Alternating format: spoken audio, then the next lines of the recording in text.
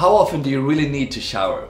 It's a common belief that we need to shower every day to maintain good hygiene, but in reality, it's not necessary. Our skin has protective oils that keep it healthy, and when we shower every day, we're washing them away. This can make our skin dry, which is why so many people use lotion.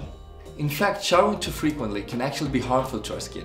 It can strip away the protective oils and disrupt the natural balance of our skin, making it more susceptible to irritation, dryness, and even infection. So, how often should you shower? Well, it depends on your personal needs and lifestyle. If you're someone who sweats a lot or engages in activities that make you dirty or sweaty, then showering more often could be refreshing to you. So to recap, showering is not the issue. It's the products we use in the shower, like soap and shampoo that are often full of chemicals. Personally, I train every day, so I rinse my body after training.